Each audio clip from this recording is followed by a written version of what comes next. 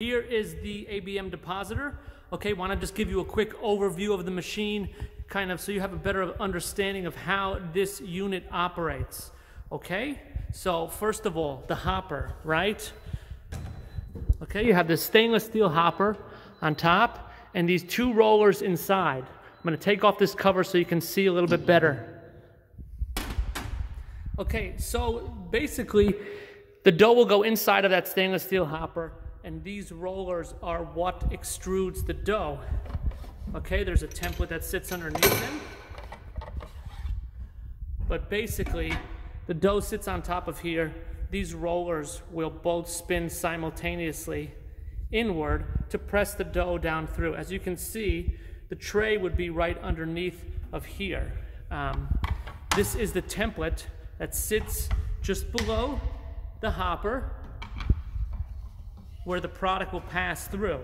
Okay, so dough goes through these rollers, extrudes through the template, and through the type of nozzle that you know we use for your particular product. These templates can be customized, so these ports will match the spacing of the indications for your hoagie pan or hot dog pan, hamburger bun pan, whatever it happens to be using we can design some specific nozzles if you want to do sort of a flat deposit. All right, so that's the template where the dough passes through onto the pan. That will sit underneath the hopper. And as I said, the, the dough will pass through these rollers as they spin um, into each other. Okay?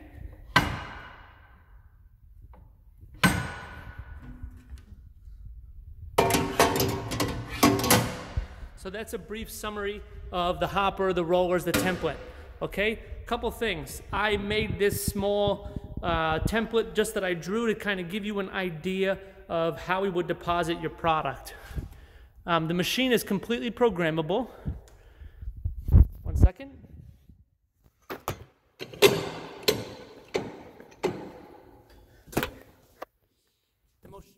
Programmable in terms of how many rows per tray, the length of the deposit, how close the nozzles are to the tray while they deposit, the pressure, the speed, um, and also if you want to have sort of a wipe back function for these longer items.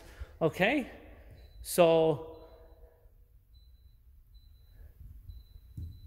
this is the program settings. I have a name, obviously I have a long product. I have the product uh, tray settings. How long is the tray? What are the numbers of rows? What's the space between each row? And what is the length of the actual deposit itself? Um, a couple things about the, the hopper, how fast the rollers are spinning, the speed, the time of the deposit, etc. And then the conveyor belt speed. So that is how um, we would enter the programs in the machine. You can store well over 100 programs inside of the machine for all your different items. So when you use the machine, all you do is pick the program of the product you want to produce and you're ready for production. Okay, real quickly, my machine here is designed for a tray to pass through on the 18 inch dimension, all right? But I know that your hoagie pans run in this orientation, so you can have this unit with a wider hopper to operate um, and deposit down the length of your hoagie in the 26 inch dimension. All right, but for the test, I set it up this way just so you can get an idea. All right, so I made this quick template just to kind of show you where the, how the nozzles will deposit into a desired cavity, space, etc. Okay? So I'm going to just run a quick test. As you can see, the pan passes through. Um, I can control how close the nozzles are to the tray. They will deposit down the length, okay? You can add a small wipe back function to kind of remove the tip of the product. And as I said, we can control how close the nozzles are to the tray, how thick of a deposit you make, the shape of the nozzle, etc. So far different from sort of the manual operation that you're running now.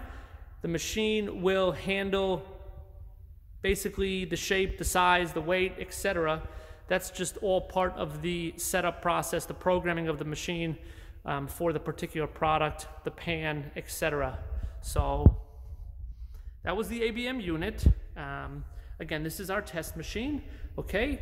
You would likely look at a machine with a wider hopper to run the pans in the other direction, as I mentioned, uh, based on your items, the shape, the size, etc.